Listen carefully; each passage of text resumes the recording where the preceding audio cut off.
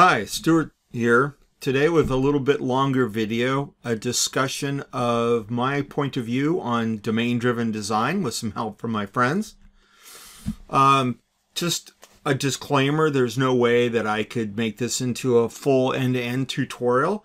But for those of you who are interested in DDD or are interested to see what DDD could do for you, uh, this video might be helpful. I'd like to thank my contributors and just say that any mistakes are mine, anything useful is down to them. And lastly, I want to thank Eric Evans and all the people who came after him for making it possible to, in theory, deliver software that is better than before. So I want to start with Solid because all the different trends in software development that I've ever seen not that are useful. Not one of them has ever contradicted the fundamental laws of solid that date back to the smoky ancestral times when when developers had no ones, only zeros. And so solid is the foundation upon which all great software ideas and implementations stand. And if you don't have a solid foundation, what you don't have is usually good software. So most of you know the, the SOLID acronym already. For those of you who don't, there's a bunch of great Wikipedia articles and tutorials. But I just wanted to put a stake in the ground and say, I want to start with SOLID, and I think about it a lot. And as we go through the rest of the deck, I will occasionally make references for it. So if you're not comfortable or familiar with Solid, you may want to just stop this video and go watch a different video or, you know, do some research and get comfortable with some of the ideas in the Solid uh, acronym. The other thing that is kind of a base for me when designing software, these are more implementation things, but you cannot do software architecture, software design without considering implementation. And so for me, the 12factor.net factors from the 12factor.net manifesto, which you can go to their website and read all about. And you can also go on this same channel and see my 12 videos on 12 factors. I did a video on each of the 12 factors. And again, if you're a little fuzzy on some of these, then it would be great to stop and go and look at that before we dive in, as I'll be referring to them occasionally throughout this presentation. Um, additionally, it's nice to know coupling and cohesion as terms. I've included uh, a couple of really great articles, one Wikipedia, of course, and one that was written by the good people at geeksforgeeks.org and they have a nice tutorial on coupling and cohesion and about why they're important. So we want high cohesion and low coupling, and that actually is an excellent uh, set of things that we're trying to get to in DDD, which we'll get into shortly. So I wanted to make it clear right from the off about an important kind of prerequisite concept, and the, it's the difference between types and instances. And if you are used to a typeless language, of which there are very few, but there are some, or things where types are soft and squishy, uh, JavaScript, for example, uh, you may not have the same way of thinking about types and instances that a C Sharp or Java developer uh, or Go developer might have.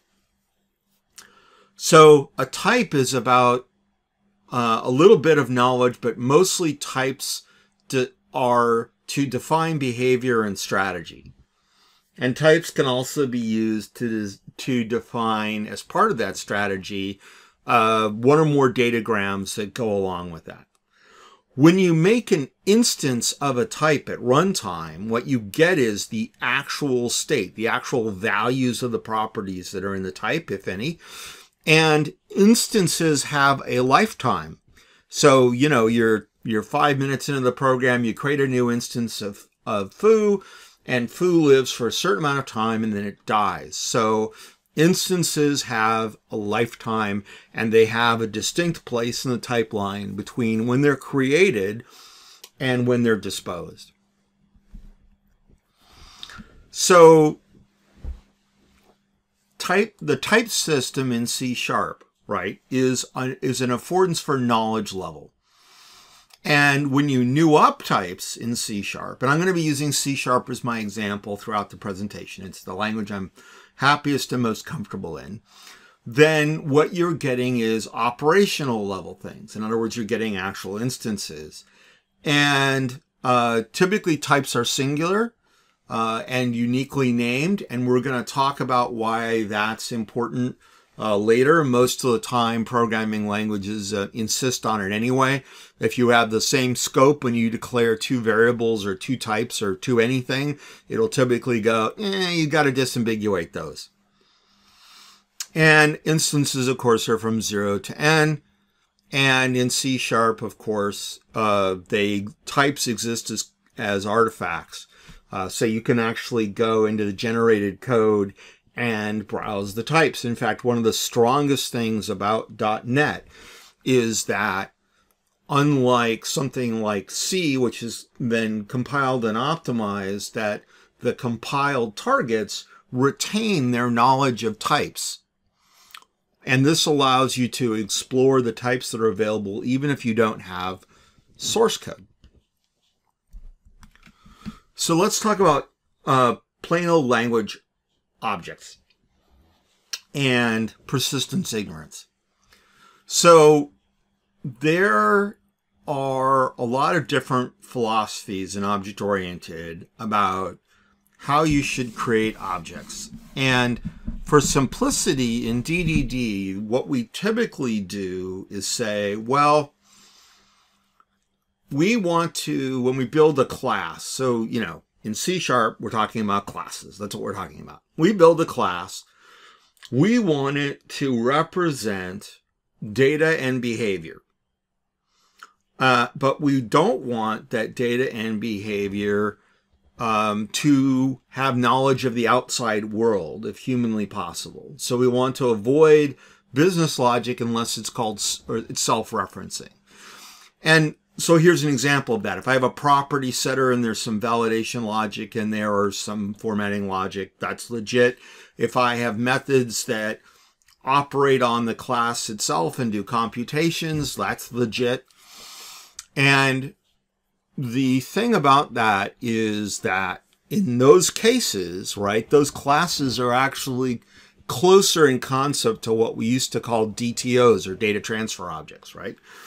And so the thing about that is if you build polos, then the the polo doesn't care how it's persisted, right? You can you can use a, a, factory, you can use a repository pattern, you can use, you know, pretty much anything. And it does the, the, the object itself should not and does not care. And by the way, that's just a generally good thing to do in most programming languages anyway. You want to separate out the persistence tier from the business domain, which can which includes your business objects or polos. A happy note about that is that there are a bunch of nice patterns that you can use. You can use the factory pattern, you can use the repository pattern. And the idea is, is that the factory pattern, repository pattern may even be implemented as a, a set of static helpers or they may be implemented in as some sort of context object as they are in entity framework. But as far as the classes are concerned, they really don't care. They don't know that they're being manipulated by, for example, entity framework. They get hydrated and rehydrated, and in the middle they get they potentially get mutated or they get copied, and the and the copy as it's being mutated, as in F sharp, is got values reset. And in the new C sharp, um, you can use the record type for that kind of thing, where records are, are classes that are immutable. But when you make a copy of that class, you can then set the properties that are different about from the, from the, from the original to the copy. And that uh, makes it so that your DTOs are immutable. Um, not a bad pattern.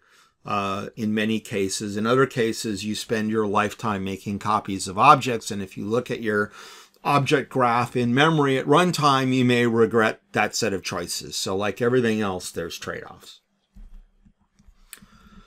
So I, a word about persistence ignorance, right? If you are using a handy dandy framework that does a lot of heavy lifting for you, and in order to use that framework efficiently, you have to give your, your business objects things that you would hope would be POCOs, but really you need to just give them that much more context to make them interoperate. That's not the worst thing in the world, right? So it's a goal and it's one of those things you should apply the Pareto rule to, e.g., maybe 80% is good enough, but let's not make our POCO objects so aware of their persistence that, in fact, modifying them becomes really hard. So, Don Box and others, but Don Box really expressed really well the four tenets of service orientation. Why service orientation is important in DDD, we will see shortly. But the four rules are service are, uh, are autonomous, Services have explicit boundaries. Services expose schema and contract, not class or type. And a nice example of this for .NET developers is the Open API JSON or YAML format that says, you know, here are my operations, here are my datagrams. And those things don't have to correspond to the innards of your domain models. In fact, they probably shouldn't. And service compatibility is based on, on policies. And there are lots of nice policy engines um, that you can use at runtime and they can be used in, in concert with best programming practices like semantic versioning and other things so that you can do service bindings based on, you know, duck typing or, or based on matching things that are close. And then policies can also be used for access control and what something can do and uh, you know, in what subset of data things are allowed to operate in and so forth, right? So we'll talk more about services when we dive into DDD. One last thing. Throughout this presentation, I have a set of document uh, diagramming things that I like, that I sort of habitually use. They're chosen because they're easy to draw in SharePoint, and I find myself doing um, a lot less Visio and a lot more SharePoint. Uh, and so these are just things that are easy to draw in style. So we have, you know, uh, boxes with titles, and those are classes. We have oval rounded off boxes, and those are typically enumerations or constants. And then you have composition, association, aggregation, inheritance, and so on. And we're going to talk about each of those. But, you know, in, in the in the in the description, we're going to have these notations. So it's helpful to provide a little key or demuxing. So aggregation is the difference between aggregation and composition gets mixed up a lot. Aggregation is in math terms a set or a collection of something. And so the relationship between what segment, marketing segment a customer is in and the customer is an aggregation because there's no hard relationship between a segment and a customer other than the relation. So you can delete customers to your heart's content and the segment doesn't care. Composition is about parent-child relationships. And so in the sort of traditional customer order, order detail product thing, order detail must have order as a parent and you can't delete an order right? And so that's kind of referential integrity if you're a relational mm-hmm. database SQL type of person, right? So think of composition as is is a foreign key with RI and an aggregation is a foreign key without it if you're a SQL person. Again, association is is a relationship that says this thing is pointing to that thing. So an order detail has a reference to product. And in theory, a product should not be deleted if order details reference it. And if you're a SQL person, you're going, well, that's just a foreign key relationship with a specific set of, of conditions. And you're right, but in the object modeling universe, the difference between composition and association is that I can create as many products as they want and they never have to appear in an order detail. In composition, the parent and child must both exist, and that's the difference. And then lastly, in C sharp, we put things like enumerations and constants into a set, and the notation we use is a dashed arrow line. And that just says, you know, we're constraining the value of this thing to be in that set, whether it's a group of constants, an enumeration, what have you. Another thing that's notationally interesting is covariance. And you see this a lot in complicated business systems with inheritance, where we have this generic purchase order and purchase order detail, and they have a parent and child relationship, right?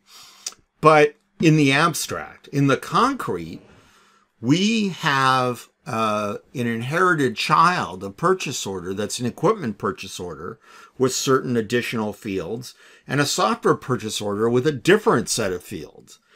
And so if I want to then have a product order detail, I want to have a product order detail for equipment purchase orders and a different one for software purchase orders. And this sort of arrangement is called covariance. And in programming languages, especially in C sharp, you can use um, attributes. You can use lots of other uh, clever tricks. You can use a rules engine to enforce this sort of thing. And if you are using the factory pattern to create instances, what you say is, well, I'm never going to allow someone to create a generic purchase order, but I am going to let people create a purchase order of type whatever. And then, then by fiat, um, it will have an IEnumerable collection typically of the appropriate uh, subclass.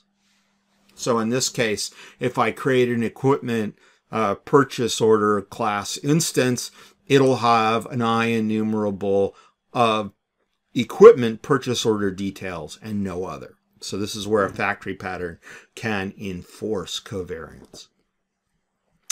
But of course, anything that operates on a PO detail or anything that operates on a PO, um, as long as you follow the Liskov substitution principle, the essentials of a purchase order, like unique order number and date and you know details, have a certain common set of business rules that you can pass either an equipment or a software um, purchase order to something that knows how to deal with it, and it will do the right thing. And this is um, a loose sort of duck typing that you find in other uh, languages. Normally, covariance is generally not a good idea because it forces other constraints on your system, but there are absolutely business cases where what we want to get accomplished requires covariance.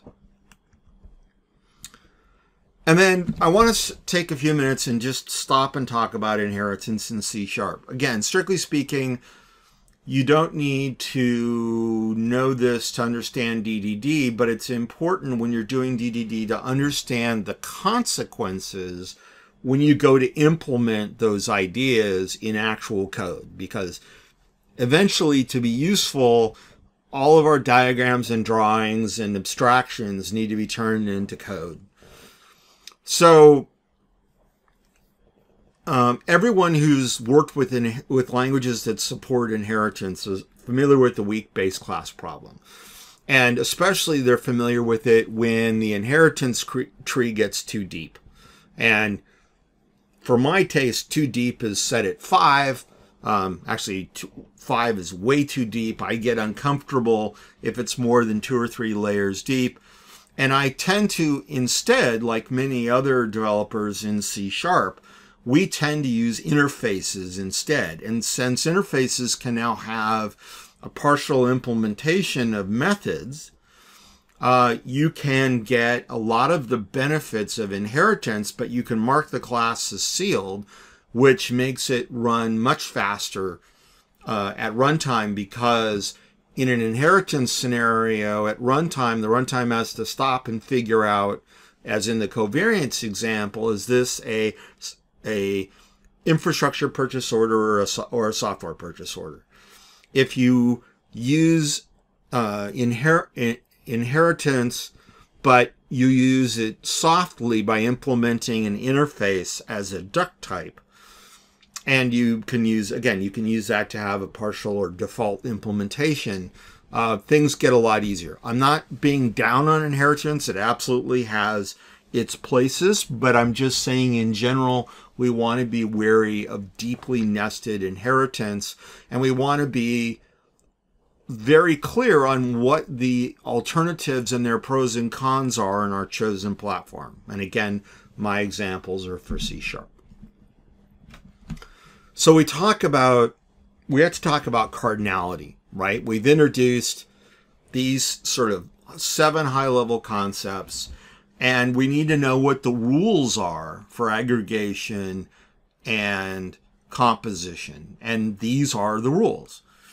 So, for example, for covariance, we have a rule that there it needs to be deterministic. In other words, it needs to be a one to one interfaces by their definition are one-to-one.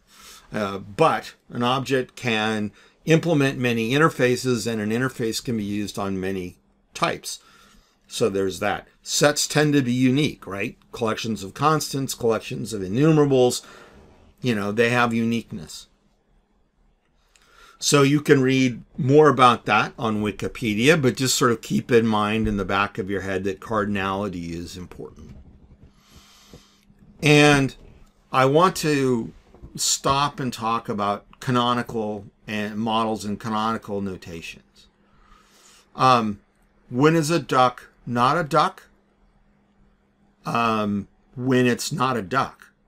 And while there are a number of canonical schemas out in the universe, right, for grocery, insurance, healthcare, whatever, understand that those schemas are interface contracts at the service tier and not domain models. Schemas are not domain models. Domain models contain schemas, but not the other way around. So be wary as you're going through your modeling that you don't fall into the black hole of canonicalization. It's a trap right? If you have two things with two distinctly different semantic meanings, and but they look really close to being the same, resist the temptation to fold them into one thing. Sadness will ensue. Zoom levels.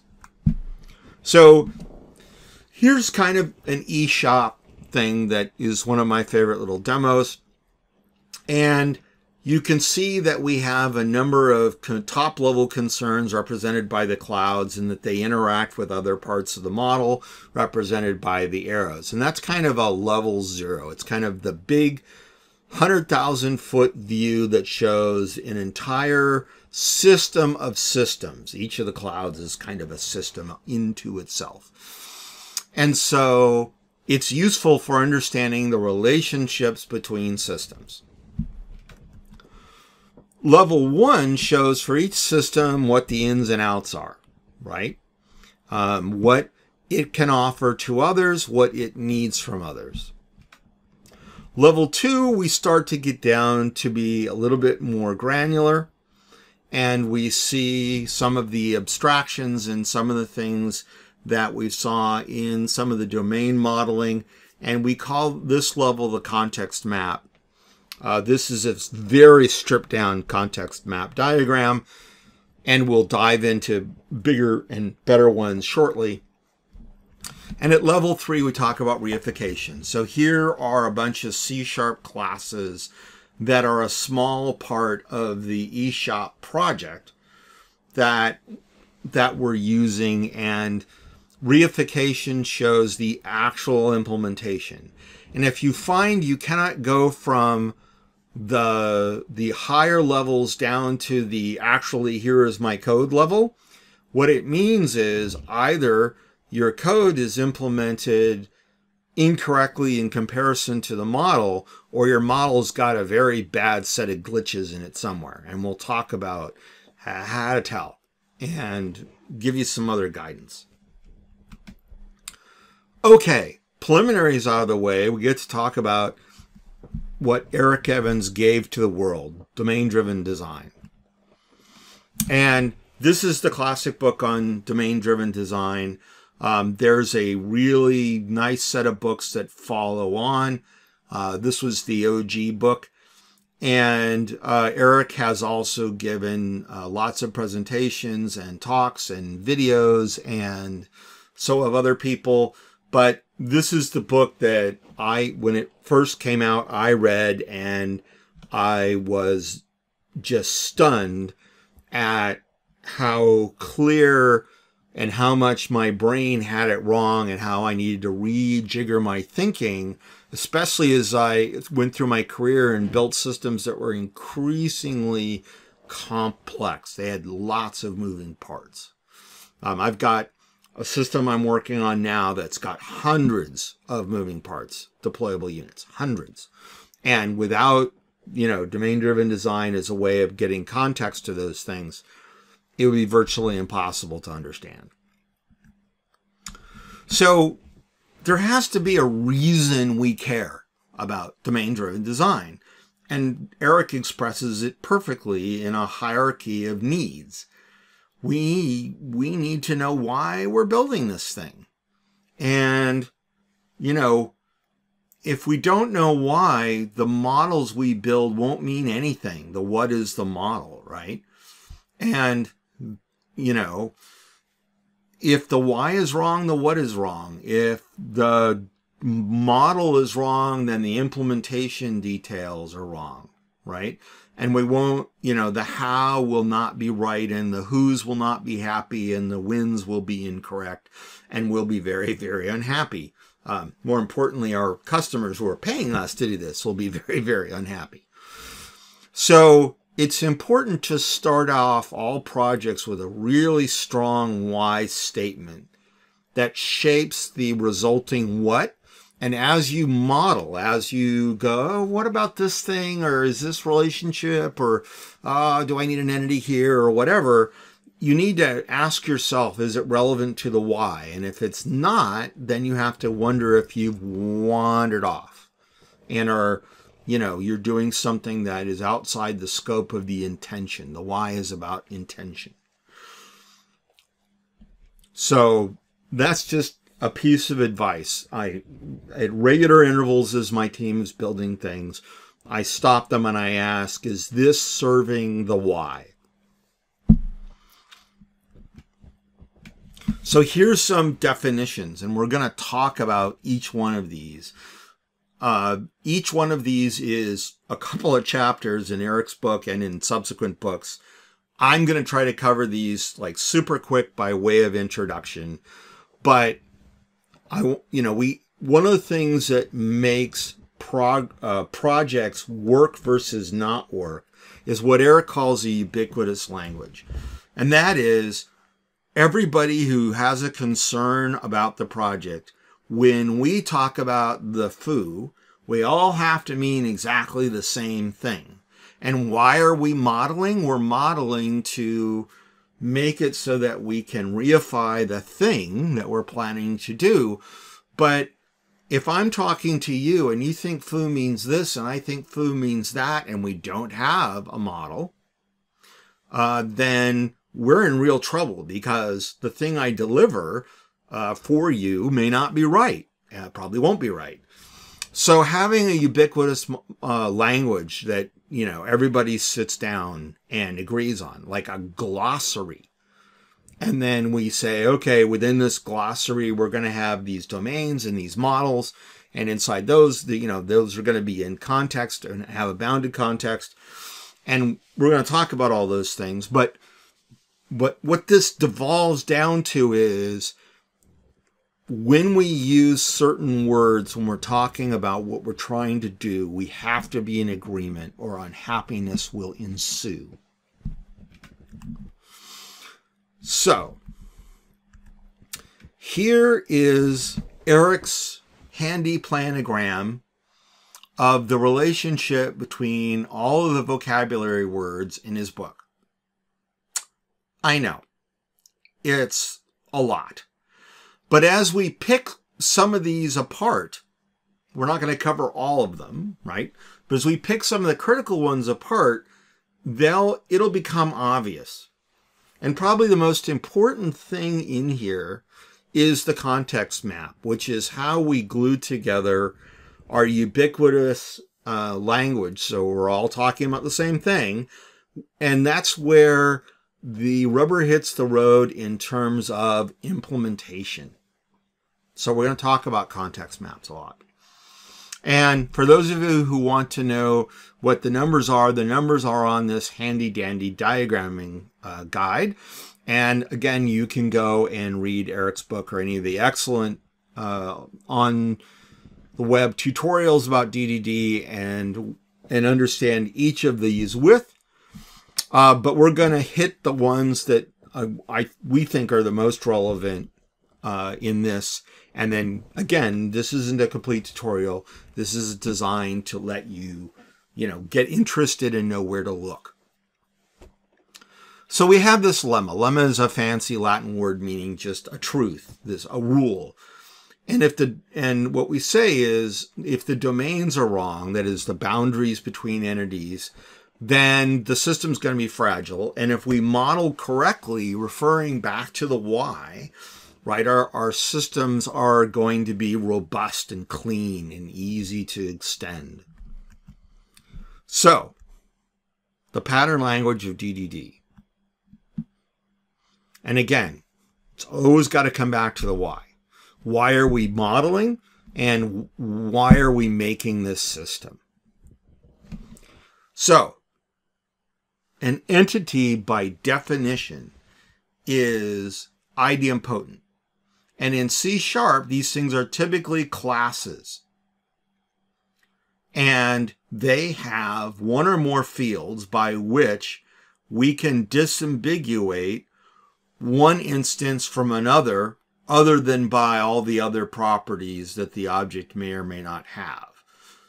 But what it means is, is that when we're trying to get the entity or write the entity or, or modify the entity or delete the entity, that we can do it by ID. And this is not a staggeringly complicated new thing, right? If we're going to use entity framework, if we're going to, you know, facade things over SQL or NoSQL, databases having them be idempotent is a big deal, right? And of course, our rule is, is that uh, entity identity should be immutable. Again, none of this is groundbreaking stuff. So anything that is idempotent, that is an entity, can be the root of an aggregate. Woo, what's that? So we're going to show you in a minute, but in a nutshell, an aggregate is customer to order, order to order details, order details to product, right? So I could represent a customer and one order by having that tree of objects. And trees or graphs of objects are called aggregates in domain driven design and in math too. So, um, an entity can be a vertex. That is, it can be the beginning of a graph. If you don't have idempotency as a guarantee, when something is at the root of a graph, the graph is non-deterministic, which means it's hard to work with. And in fact, that's almost always a bad smell. So, we start by making good classes, and we'll talk about entities versus value objects in a minute. Um, we talk about about interfaces as part of shared kernels. We'll talk about that in a minute. And then, you know, constants and enumerations uh, that are that oval shape, right? That constrain the values of data in our entities, our value objects, and then we have delegates and events, and those can represent domain events. And we'll talk more about that. So these are sort of the building blocks that we're going to use to grok the domain driven idea. So here's a sample aggregate. It's the one I called out a minute ago, where because customer is got a unique ID, it can be the root of an aggregate. And so we have, you know, composition, composition, and association. In this case, as shown in the modeler that's in Visual Studio notation instead of mine, but it's still the same idea. And so we can see that, you know, I can say, well, for this customer, ID blah, go get me the order, order number blah, which is also a unique ID, so it can be the root of an aggregate. And then it will go fetch all the order details, which in turn will point to all the products. In implementation, the um, product property might be lazy loaded as as if we were as if you were doing it in entity framework. You can say, well, I only want to go get the pro- the product itself if I want to dot my way from product ID all the way through to get the product name or um, the price. So domain events are pretty simple. If we think about internal versus external events, of our of our system. We talk about internal events being things that pass between entities in our own code. So in C sharp, I might declare a delegate, and then I might have um, callbacks from other classes register with using that delegate and then when the class they're registered with has a state change of some kind or something interesting happens, it will raise an event and all of its subscribers will get the event and can do something about it. An external event is something that happens between components running in different execution spaces. So you know, it's all the normal queue intermediations or messaging intermediations we're used to. Azure Service Bus, Rabbit, Kafka, um, all those things are all examples of intermediates. And you may even have a direct connection where um, service A registers a callback with service B. When service B does something, it calls back service A that's a lot of coupling. It's not always the best idea, but sometimes it is useful. But from the DDD point of view, whether the event is internal or external, it's just saying, look, something happened in here that other things need to know about. And we say an event is the way we're going to communicate that change. It's usually a state change.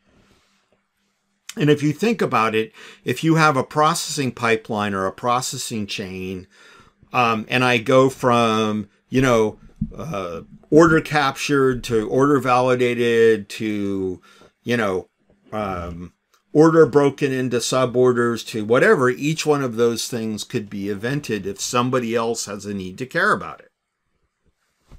And when in doubt, make your um, the different steps in your workflow, particularly in Saga workflows, by default capable of raising events in case anybody's interested. At runtime, the cost is generally fairly low.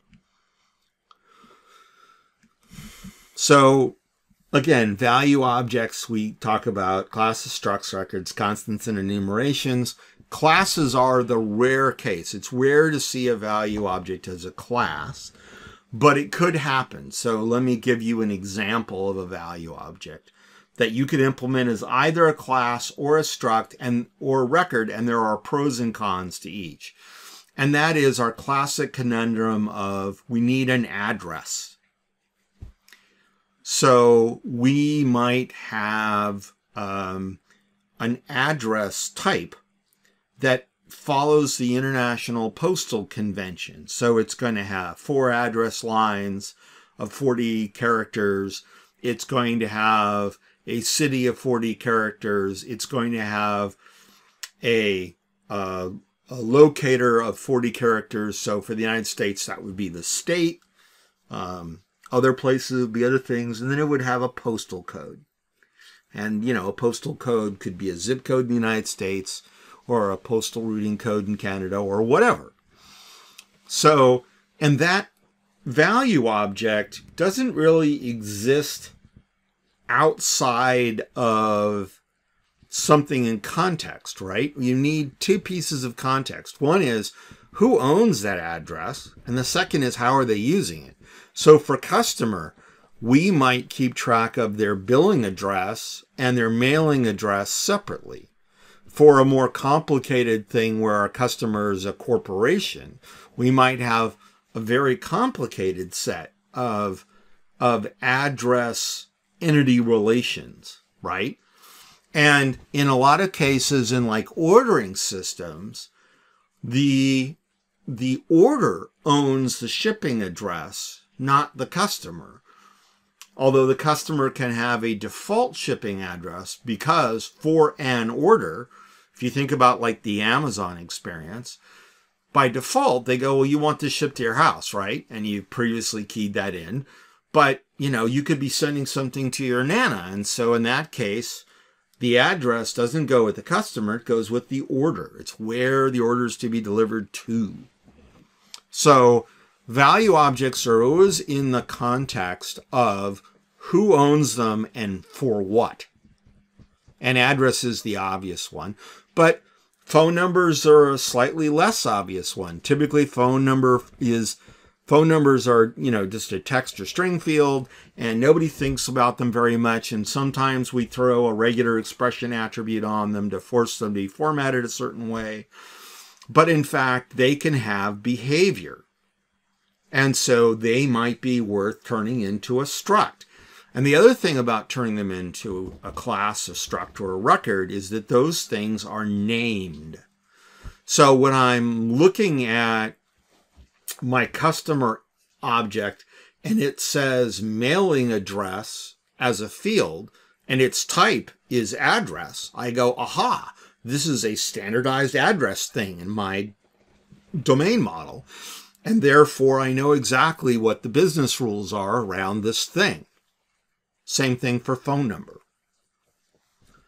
So it's it's important to know that value objects can be more than just constants or enumerations, right? They can be used to express complex types that can only exist relative to some owning thing, and that owning thing has to be an entity. It has to be idempotent, right? This address belongs to customer 47. And what kind of thing is it? It's the shipping address. So here's some examples of, of you know, value objects in action. We talked about two of them, order status and address. And, and you can see that the difference between um, address and and for example customers is that address although it's a complex type is not idempotent, but the type itself provides useful information to the system. It's an address thing. We know what address things are all about. And an order status is technically in DDD a set. It's in other words, you can only, this field can only take on these values. That's it, right? It's used to constrain the values inside a type. So in the abstract, right? DDD thinks about um, factories and understand that a factory could be a classic factory in C sharp where you have, you know, um, a, you know, you can't actually new up an, an, address. Instead, you call the dot add factory, or, or sorry, the dot add address uh, overload on your on your class, and you pass it in the required fields. Um, often, factories in languages like C sharp are used to enforce business rules rather than letting people construct the the child object like address directly. So it's useful for baking in some validation and business rules and consistency and formatting rules, things like that. But understand that a factory in DDD could be a repository. So a context object in entity framework is thought of as being a factory in the sense that you can say, you know, my customer context dot customers dot get by ID 47, and it materializes an instance of customer and so on. A side note that singleton data objects are an anathema. A single computation is not. So we want to do our computing in one place. And we want our data objects to either be idempotent or classic value objects attached to an entity which is idempotent. So modules is just this generic thing. Every programming language has its own way of grouping code together. And so in C Sharp, it's files, folders, and namespaces. And then up from that, projects and solutions. Um, and, you know, that's just how you want to lump and split the code.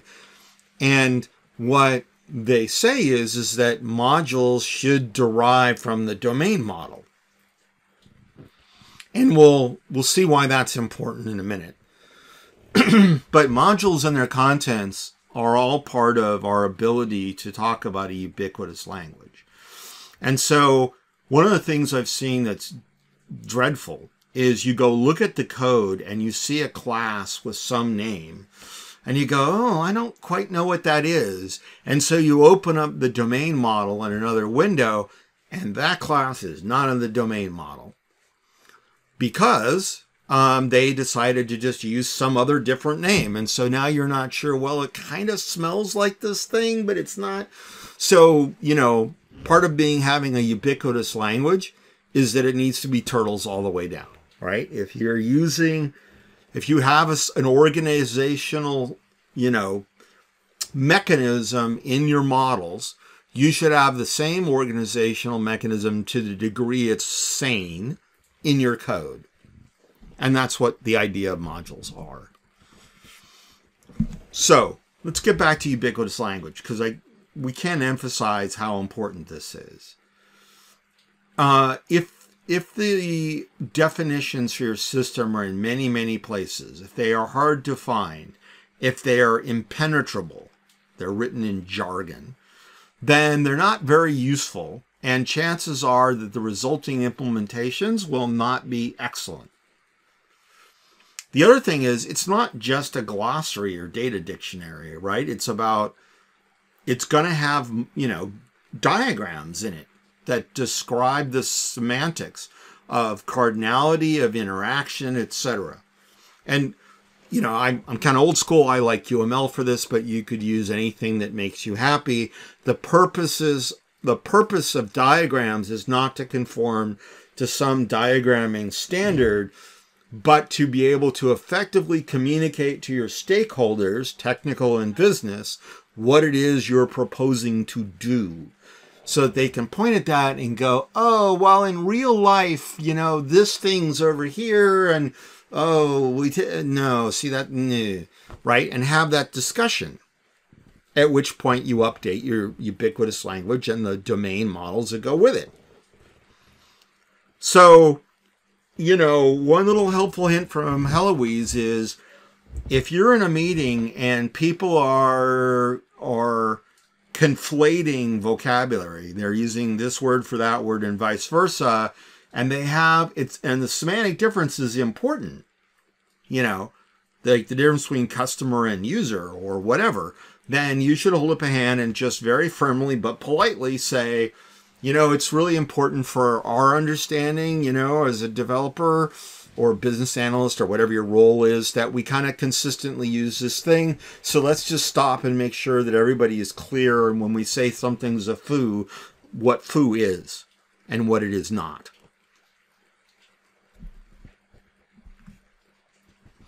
So there's a chain that I think I've we've spoken of before, and it's one of those things where the ubiquitous language leads to a set of semantics which must be right or the model will be wrong, which means the syntax will be wrong.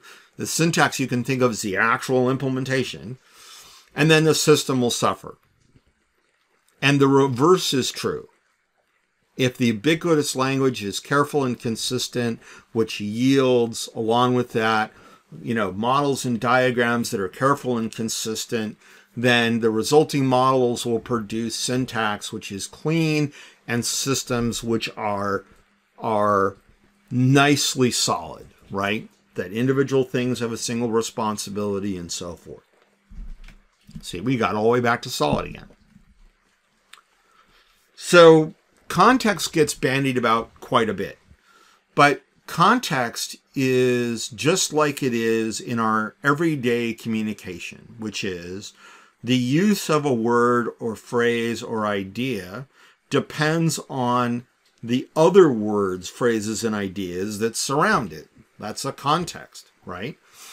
And so if I am talking about foo, then I need to be really specific about whether I mean, you know, foo the idea, foo the entity, foo the implementation, and those things should be related to each other, remember?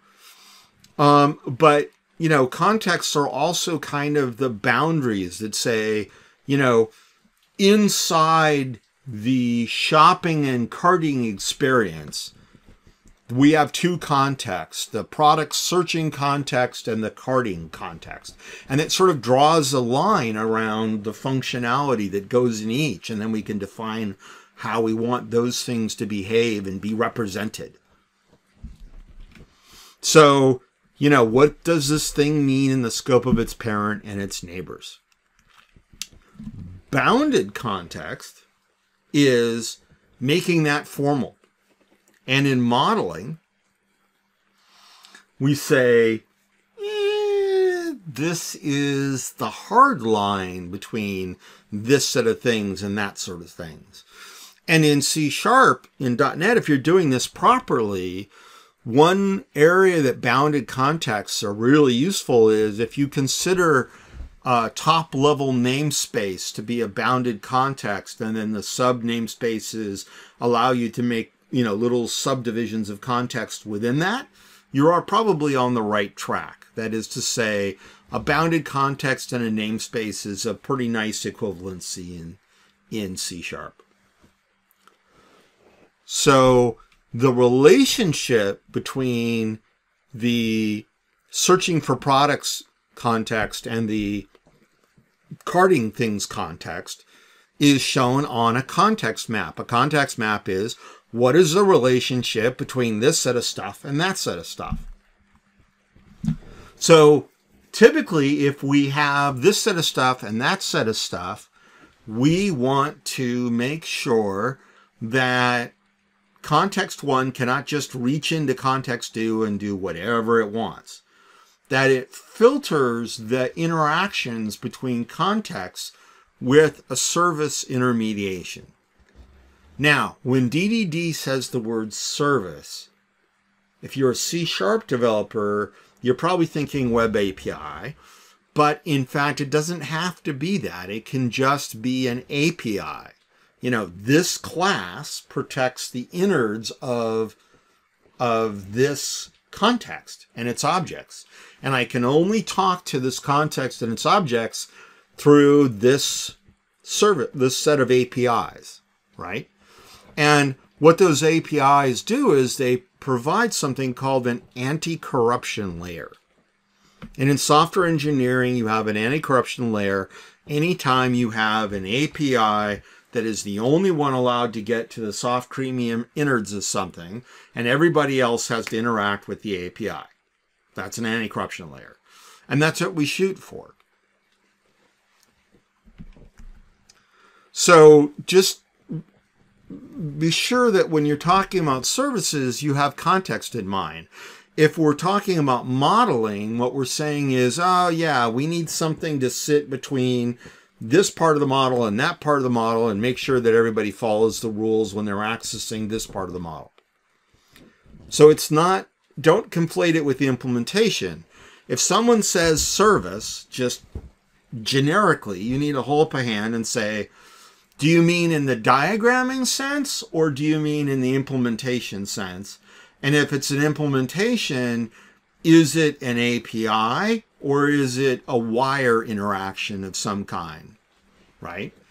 Because you can, it doesn't matter what the wire protocol is, as long as A is talking to B and there's code on the other end it's talking to, and not the soft, creamy innards of the other domain, you have a service interaction wired or not, in memory, out of memory. In DDD, those things are services. So why do we need context maps? Well, we need context maps to make sure that when we have uh, a, a set of entities and value types, that they have clear boundaries, right? That we're building a context and that when this pool of stuff needs to interact with that pool of stuff, we're doing it through a service. And if we don't do that, like we were to lump them all into one big puddle, you'd end up with something called a big ball of mud in DDD terms, where everything can talk to everything and everything else can go to everything. And and in networking, we'd say that that model is both porous, that is, you can get into its creamy innards from the outside, and promiscuous, which is to say that anything can talk to something, anything else, unchecked by a policy. And by the way, the implementation of a policy is the idea of a domain driven design service.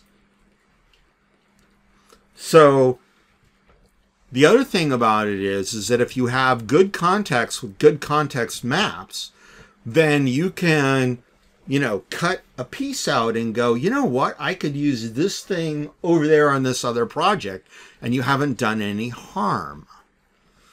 So, and then if, to top it off, if the relationship between our context that's shown in the map is service intermediated to provide an anti-corruption layer and is well segregated using some of the same principles of of service oriented architecture and it's made using some of the ideas of microservices that things should be reusable right then we're able to have this idea where we don't have to go out of our way to make A talk to B. We don't have to do a lot of transformation or translation.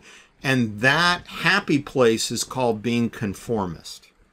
Again, it's a modeling term. It doesn't mean uh, being conformist, you know, in other ways, like everybody has to wear blue socks or something.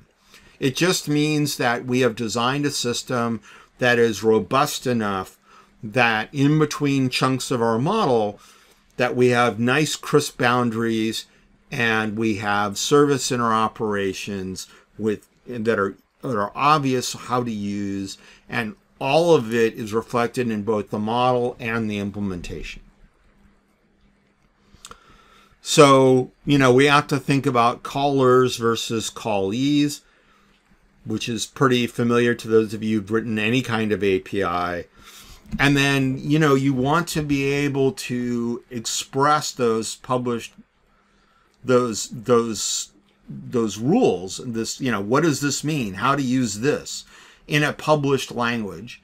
And so for example um, we could use something like OpenAPI to define any, uh, the interaction between two contexts right, that has, you know, DTOs and operations that hide the implementation of the underlying context over here, but allow other contexts to use it when they need to use it, and enforcing the policies required to keep external forces from doing something horrible to the soft, creamy innards of this other of our domain. Right? So if you go to diagram something and you end up with something that looks like the flying spaghetti monster, you probably have very poorly defined um, domain boundaries and which means that your bounded contexts are wrong and your modeling is wrong and you have stuff protruding outside your own context and you're probably looking at something that will be very unhappy making. Or you just diagrammed it in a way that made it look god awful. One of the two. So but just it's a warning will robinson. Like if you look at a diagram at any of the the zoom levels we talked about before and it looks like you know a million connected lines something horrible has gone wrong. Um, you want to see a lot of empty space in well constructed models with nice crisp boundaries so we talked about porousness before um, and promiscuousness right and we, you know, the internal implementation of your service tier in the real world, right? Um, you know, there's a discipline to that, right? And so things like Entity Framework are designed to help you build an abstraction between your business logic and your storage tier.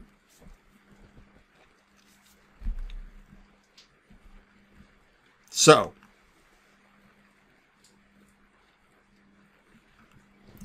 so in the real world, there's some real world problems like trimming. So, if I have a customer and I go and do a get customer by ID on customer 99, and that customer has 10,000 orders, and I try to drag them across the wire and load them in memory, chances are my thing will explode or take forever and time out or something equally horrible. And if I try to then go get all the order details and all the products, right, that's awful. So the solution is typically um, to implement some sort of lazy loading, but the reality is that we probably want to design our APIs in such a way that what actually happens is we say, look, I want to go and get the list of orders for this customer between these two dates, or the most recent order, or orders only in this status, right? That's where APIs, aka services, really shine because they allow us to do graph trimming, only fetch the things that we need, and they enforce in usage that people go and and do sane sorts of inquiries against our underlying schema. So they enforce filtering, right? So I'm not going to be able to expose a customer get all orders method but I will be able to expose a customer dot get order by ID, right? So customer 99 order 1234, that's perfectly legit usually. Um, unless of course it's got a million order details, but even then we want to have filtering and filtering and filtering, right? Along with lazy loading. And that idea is graph trimming. So here is a, a typical customer order, order detail, product kind of graph. And in this case, it, it, what we're showing is that we reduced pulling back the entire graph. Parts of the graph aren't shown for brevity by applying trimming. So we said, go get the most recent two orders for cu- customer 47.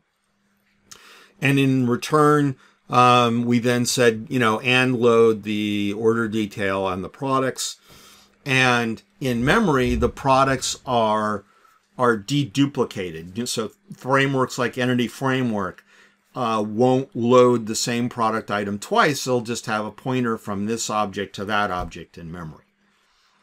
So, you know, trimming is important.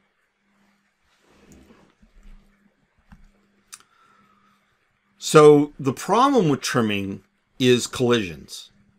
What happens when two different processes try to modify the details of order 47?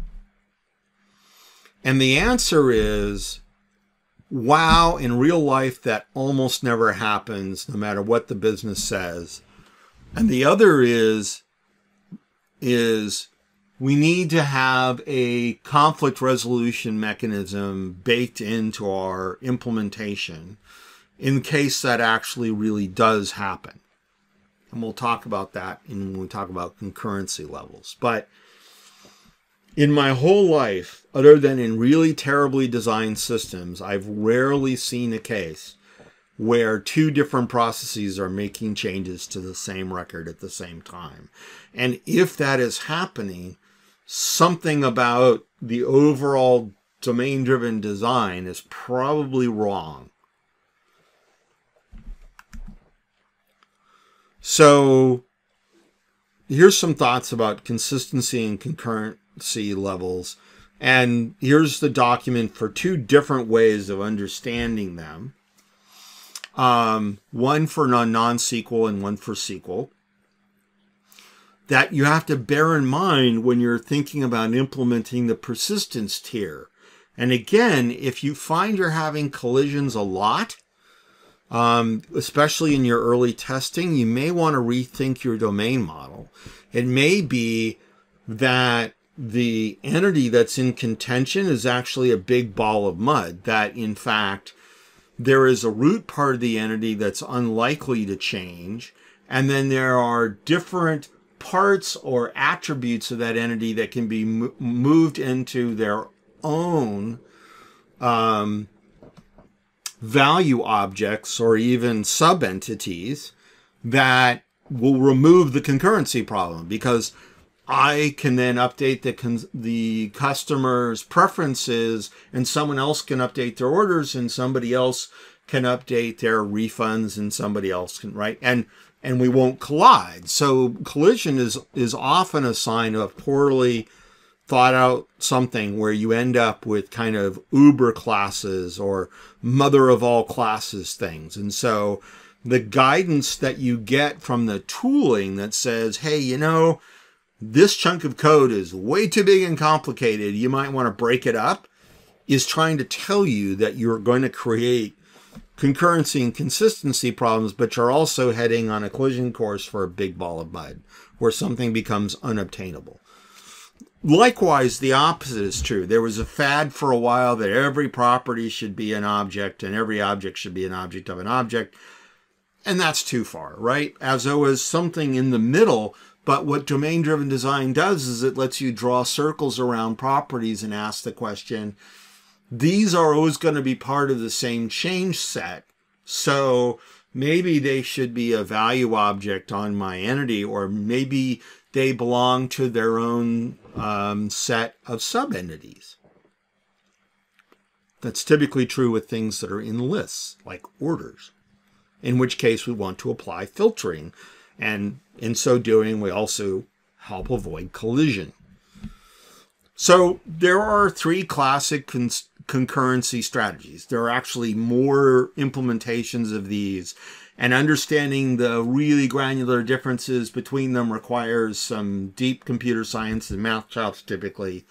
But they devolve down to last one in wins, optimistic. So I'm just going to assume no one's going to write. And if someone beats me to the right, I'm going to throw a thing I'm going to have to resolve. Or pessimistic, or we resort to locking. In modern enterprise and cloud systems, anything that depends on pessimistic locking is going to have a dreadful throughput in real life. So again, the strategy that is generally the best is optimistic. And if we find we're having collisions because more than one system is trying to update the same thing, then we have not made our implementation of that object in from a single entity into a graph or into you know into an aggregate in a way that lets different concerns update different parts without colliding and only one domain or context should be allowed to make the change so for a customer object the base customer properties of first name last name customer number you know um, you know, gold, silver, platinum should only be allowed by the customer system. And then maybe the preference engine has an API exposed just for it to keep track of their preferences. And there's another API exposed on it for orders that allows, you know, constrained entry to the orders. And we can do that because we have partitioned our, our, you know, everything all in one class to smaller pieces that make sense. So, you know, understanding how to do trimming on on entity graphs to get a sane projection is really important. And it's also important to understand the intention. By and large, when you go to implement domain driven design things, you should follow the CQRS pattern, e.g., you should separate the reads and the writes. And what that allows you to do is to fetch arbitrary projections that are for reading only, but they contain the, you know, the keys or the IDs so that then if you need to then modify one of those objects, you can make a second call to reify an editable object which is sane in the scope of the aggregate, which is the graph. So CQRS and DDD go well together because they allow you to tackle real world problems like reporting and populating a screen and things from the, oh, and by the way, I need to add, update, delete this part of the tree.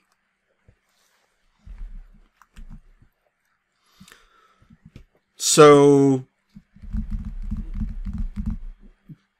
domain boundary bad smells, right? A domain is a context of context, right?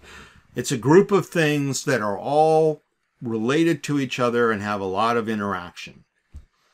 And drawing domain boundaries is hard. And again, domain boundaries often will become, you know, top level namespaces and then the um, bounded contexts inside become subname spaces when you implement them in C sharp, and you may break those into the the domains into their own DLLs or whatever. But what you want to avoid doing is building distributed monoliths. And if you find that you are are exchanging DTOs to keep the same fundamental entity represented two different ways in sync, you're now squarely in the two watches problem. And that's a bad smell. So that leads us to to a piece of advice that Larry gave, which is that an aggregate, e.g., a graph should only exist in one domain. So what do we do when domains collide? So if we have overlapping entities, and let's say we have two different entities that care about customer. Maybe customer shouldn't be part of either of those domains. Maybe customers should belong to the customer domain with its own service interp- inner positioning. And then the other two domains just need to be able to hold on to references to specific customers. So if you have a situation where not just duck typedly, but in reality, a graph is in, you know, an entity hierarchy is in two places, the thing to do is to pull it into its own domain and then wrap it in a service to keep that domain safe. It's perfectly acceptable for one domain to hold references to another as long as the entities inside the shared domain or common domain are idempotent. Same thing happens when you have a set of enumerations or constants or something like address or phone number the thing to do is to pull it into a shared kernel, which is just a fancy way of saying it's not part of domain A, it's not part of domain B. Anybody can implement these abstract things. And so you can put things like interfaces, constants, enumerations into what DDD calls a shared kernel, and then each of the domains can happily use it. And as we update, for example, an enumeration to add new values, following the rules of the programming language and best practices, uh, both domains benefit and neither are harmed.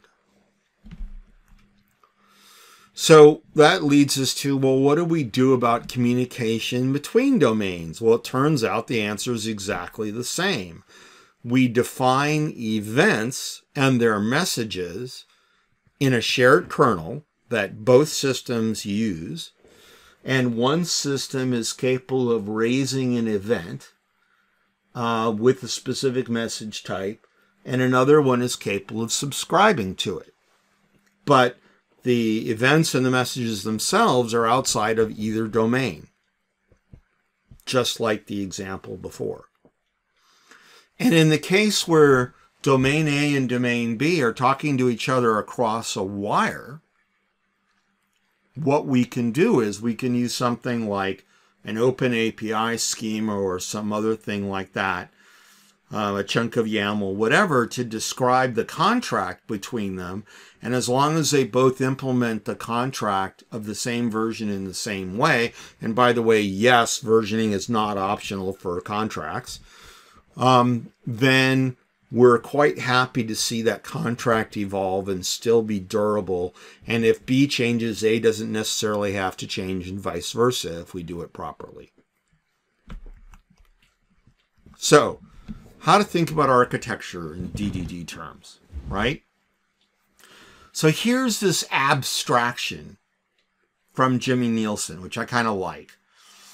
And and he breaks it into these four chunks where the domain is, you know, we would say maybe we call them business objects or we'd call them, um, you know, the implementation.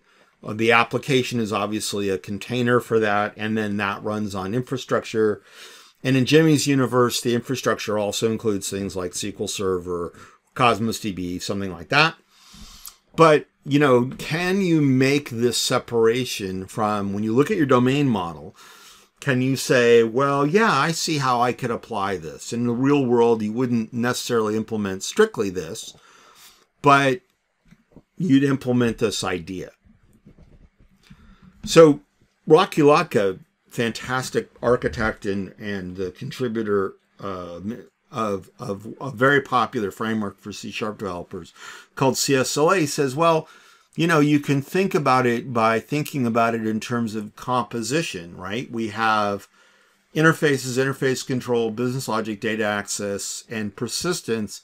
We roll those five things into an application, and not every application has all of them. We roll those into systems, we roll systems into solutions. And that's a compositional model, right? And that's actually a very practical architecture. And if you go and you need to build a, a business application with lots of business rules and business logic, CSLA is a nice way of doing it. And their model for implementing it and mapping domain driven design onto it is compositional. So, you know, the green boxes would represent one or more bounded contexts inside of our bigger domain model that then is aggregated. And by the time it gets to the system level, we're talking about domain to domain communication, and that results in a nice, durable solution. And he's got lots of content about this idea. I tend to think from the network up because that's how I came through the world. And so when I'm looking at a domain driven design, I ask myself, how would I chunk that up and put it into kind of the generic enterprise networking model, where I'm assuming that the cold, cruel internet is on one side and our tender inner creamy bits are on the on the right side.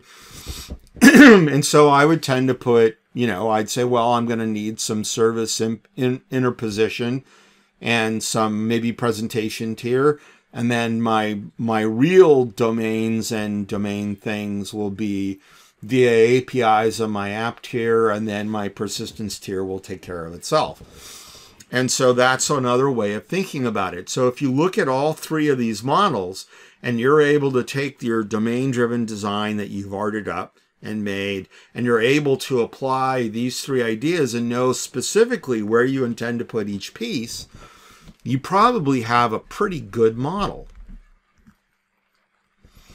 So we need to stop and talk about kind of deployable units because in order to put things into those boxes on the previous slide, we need to be able to make deployable units. And a deployable unit is exactly what it sounds like. It is a unit of deployment.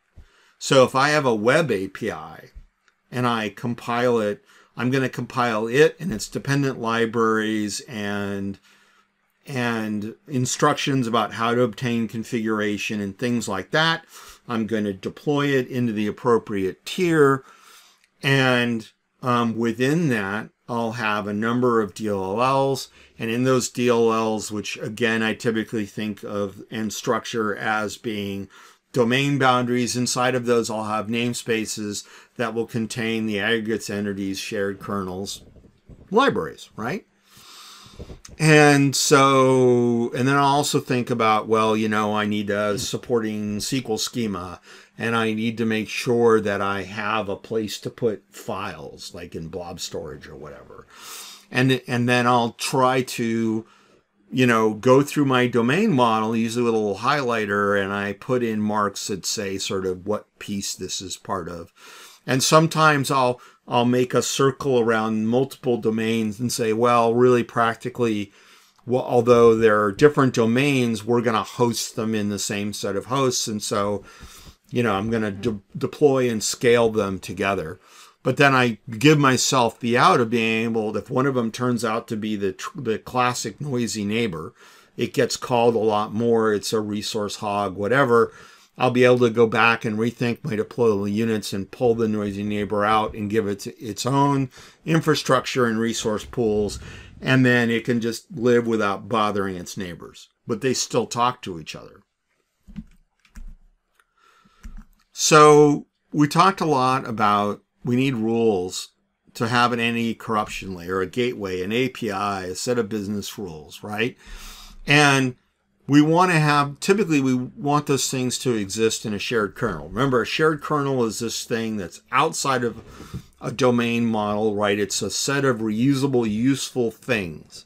So events and messages and enumerations and constants and delegates and et cetera, et cetera, right? So the idea is, again, we want to protect the creamy inner goodness of our domain from peop- others that are interacting with it and prevent, via policy, inappropriate interactions. So in every system, we think about there being a need for business rules. And business rules have long been a tough conversation among domain driven design modelers because it can be difficult to know where um, to put business rules and fundamentally right a business rule is anything that meets the turing criteria right? It enhances changes or evaluates data. So rules come in to sort of two big buckets from a, computer science abstraction point of view. Inferential rules and action rules. Inferential rules are executed when you have a, uh, let's say you have an entity graph and you want to feed it to your rules engine and go, is this okay? Does this conform to my policy? So I might have an entity graph that represented an insurance claim and I want to give it to the, is this a bogus claim engine? Those are typically inferential engines. Um, event condition action rule sets on the flip side are typically done as things, as events are raised, the events are evaluated and actions are taken based on the conditions that are part of that set of processes that are triggered by the event. So you can think of like a message that's on a RabbitMQ showing up at your function, and that would trigger an event condition action, right? It's an event because the message met the conditions that required your function to take action. Now, these aren't crisp differentiations, right? There's always a little bit of mixing involved here. But if you can strive for semi purity to the Pareto kind of 80% place, you'll be a lot happier about how you implement business rules and you'll be a lot more thoughtful and methodical about where they live and how they can be evaluated and how they can be both separate and yet part of your entity model graphs and aggregates. And of course, the way to do that, as we said on the previous slide, is to make them part of a shared kernel, e.g. outside the main flow of code. And, and that is is true of most of the rule engines in C Sharp. It's just not obvious that it's true. For example, system annotations are attributes that you can put on members of a class to enforce certain rules. So there's a phone number attribute. And what it does is it enforces that the phone number has certain characters and not other characters, and that it follows one of several patterns, et cetera, et cetera, et cetera. Um, you know, that's an inferential rule. You may have validators that happen in your API. So if you if you've ever been in Visual Studio and you're coding along and Visual Studio pops up and goes, "Hey, you're passing parameter foo, but you don't check parameter foo," then what it's trying to tell you is you need to add an an ECA, an event condition action, e.g., if this parameter is not like these things, throw an exception because something bad happened. Right?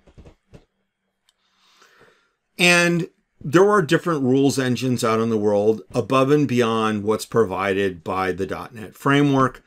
Um, many of them use either um, graph uh, OH or um, or some other engine that uses the Rete algorithm, and you can go look on Wikipedia and read all about Rete. That's a way where you can take a bunch of inference rules or event condition action rules and optimize their execution so that it doesn't have to evaluate every rule. As soon as you have a critical rule failure in one rule, it stops execution and says, nope, this failed, and here's why. And there are pluses and minuses. Um, inferential rule sets are nice in that you can give back by evaluating all the rules, you can give back a comprehensive list of complaints. But in the case where your goal is throughput, you'd simply want to stop the first time one of the rules is violated, particularly in event condition action flows like message intermediated systems and so on. So you have to weigh where they are. There is not one one rules engine or one rules approach to rule them all. Um, there are different kinds of rules, and you have to evaluate which kind of rule is best to use where, and then where it's possible to ensorcel that that rule logic into a shared kernel, you should do that. But again, applying the Pareto rule, if it just isn't going to get reused or it doesn't make sense or it's too hard, then just make sure that your rule evaluations are somehow separated from the rest of your logic, at least wrapped in a method, right? So that you can see where your rules are in one place.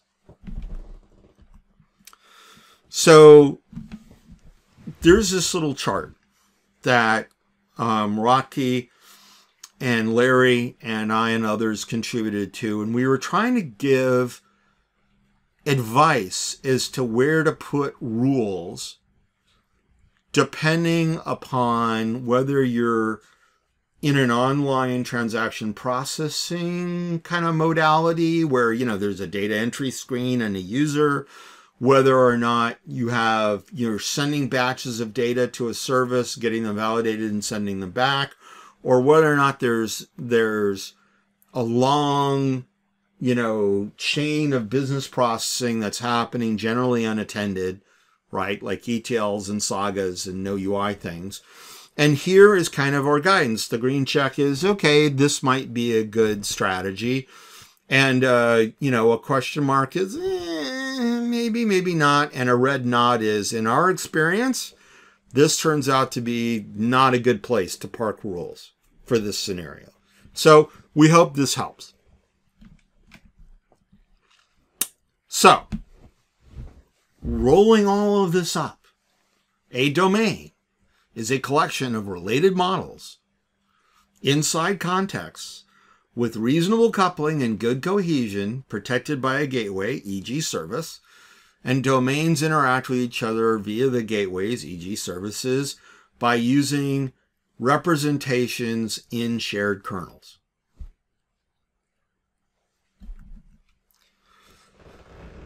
So let's revisit services for a minute. So a service is a bridge between one part of your model and another. And remember, it doesn't have to be a web service, right? It can be an API, it can be whatever. But basically, the purpose of a service is to provide an anti-corruption layer to your domain. So that being said, here's some do's and don'ts that over time we have found are pretty good rules for how to write good services or good APIs. Um, do use canonical models. Remember I said earlier that canonicalization was a trap? Well, it's not a trap for data transfer objects or contract objects. They really should be canonical. That doesn't mean that you should use canonicalization to resolve um, aggregates in two different domains. That's bad but an agreement that we're going to pass this datagram for this operational interaction being canonical is a good thing, but it goes in a shared context, not a domain. Don't use domain entities or aggregates for as DTOs except inside the domain itself. In other words, don't expose them outside of the domain. Do make your intention of your API clear. So if you're writing C sharp code, XML code comments, so that as people are trying to use your API, they get little pop-up hints, right? These are good things. Um, don't have side effects. Do have assertions like, you know, an assertion would be any kind of business rule that says, look, um, the thing you gave me is awful and here's why. and to give operations closure. And I'm not going to delve into what closure means here, but you can go read up on closure on Wikipedia. For those of you who know what closure is, um, you know, again, it goes back to the don't have side effects thing. And it has to do with governing the lifetime of instances at runtime. So lumping and splitting, right, is the classic problem because you when you're working on a project and you're doing your your domain modeling, you're going to say, well, okay, does this thing belong to this thing? Should we merge these things together? Should they be separate? And throughout this talk, I've tried to call out different pivots or decision making things. Remember, I said if we had, as an example, if we had a collision between multiple different kinds of domains trying to make updates to the same object, maybe we have the wrong object granularity. Or maybe we're creating um, subdivisions where the relationship is one to one and it could be folded in. Or we folded something in, but we realized that the cardinality between them is wrong. And those of you who have studied SQL Server and understand the rules of third normal form will, will immediately recognize that the same rules that allow you to build decent schemas in SQL Server also apply to domain driven modeling. That is to say, we don't repeat ourselves and we make sure that the, that any two things have a very crisp definition of cardinality and that we understand the parent and child or sibling relationships, etc. And so, you know, you can take the advice we've given throughout this talk and say, okay, this is some things to think about. So think of this slide as being a checklist of things to think about. And of course, we have directionality. And you should agree on these vocabulary words like, you know, um, upstream, do, downstream, cross domain, mutually dependent. Um, mutually dependent is like one of those things where you see it, it may, it should make you unhappy, but sometimes it's unavoidable. I'll give you a real world example. Um, the the the customer service and order management subsystem on an e-commerce site for the customer service function to work it needs to know a lot about orders and their status and users that conform to the right policy, e.g., our customer support people, have to make order changes, which then may have a knock on effect of the processing of the order in the order subsystem. It's just a reality, but it can be very unhappy making. Ideally, things are unidirectional, but that's not always possible. And you should you should disambiguate the case where a calls B and then B raises an event back to A to tell it something. That's not the same as being mutually dependent, where you can actually get in like round trips or worse, infinite loops between the domains. So here's some things, right? Semantic versioning is in the modern universe not a negotiable. It just should be.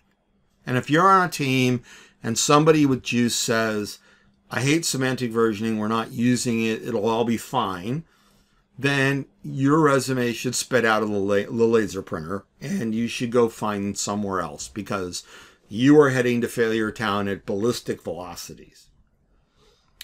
Um, just because you're downstream uh, you know, you're a service consumer of a domain, doesn't mean you have to live with what was proposed, right? You should help them iterate and push back and consider your scenarios and not have to make 42,000 calls to get the thing you need and to support the kinds of projections and set operations and trimming that you need for your use cases. And if you find that your calls fail a lot because of missing prerequisites, then you need to explain to the team that owns that gateway, that API, right, that anti corruption layer, that they're not doing a very good job documenting what is required where to get it from or how to know if it's right. And then just temporal coupling is just a very bad thing. If I need to call method A before I call method B, and it's related to time and not state. So, okay, I have to call create customer and get a customer back before I can call create order on a customer. That's not temporal coupling. Temporal coupling is there is a business process and it's got three steps. And you've got to call step one, then step two, and then step three within a certain time window, or she no worky. That's temporal coupling, and it's evil. In order delivery is a bad smell. Um, nothing kills enterprise systems faster than the business insisting on in order delivery of messages or whatever, first come, first serve, what have yous, because invariably, as an alternative to in order delivery, you can do massively massive delivery in parallel and then you can have business rules that sort out who wins like an auction right? You don't want to let one bid come in at a time. You let all the bids come in and then you close the bidding and then you sort out who done it. Same thing for stock trading right? They do some reconciliation during the day but the big reconciliation happens after the training training window. So be aware of temporal coupling and in order delivery. And lastly, be aware that monopoly and monosopoly are bad things. If you have one domain that's completely ensorcelled by another, why are they two domains? if you have something that is in your model and yet other than one unidirectional like event notifications doesn't participate in your system it's probably not a part of your system. It's an integration to your system and that's not the same thing. Okay this has been a long discussion but I leave you with the timeless advice of John Wooden as we talk about implementation dilemmas. ORMs are great. I love Entity Framework when it does what I want it to. But, you know, if you start from the data model up, which is how a lot of us used, and used to enter the world, um, you will find that when you go to do the implementations in the real world without considering domain driven design, uh, and you couple everything in your business realm to the underlying storage schema, you will be very, very unhappy. And the bigger your system is, the more ballistically quickly your unhappiness will come. Likewise, semantic breaks, like people not obeying semantic versioning, are bad. Syntactic breaks are bad, like somebody arbitrarily changes our shared kernel without versioning, without anything, and changes a contract and its DTOs, and they they break the world because they needed it to change and there wasn't any discuss discussion. And then beware of, you know, where did this interface go? I was going to use that. Or, hey, where did all that stuff come from? What is that doing on that? That doesn't make any sense. That's metastasis. Otherwise known as the creeping cruds of software. So that's, you know, and the creeping cruds, you know, the way to defeat that is think Yagni. You ain't going to need it. Um, and to always be, as an architect or a designer, thinking about the cost trade off of doing it now versus doing it later, and which one would be cheaper or wiser. And I tend to be a Yagni guy, so I tend to go, well, when we get the refined requirements for this, we'll reevaluate our domain model and see where it really belongs instead of, I'm going to tack this onto this because I may need it someday. That, in my personal history, has made me unhappy. So I, I try to be good about not doing that. And then lastly, you know, when you're actually implementing, think about architectural priorities.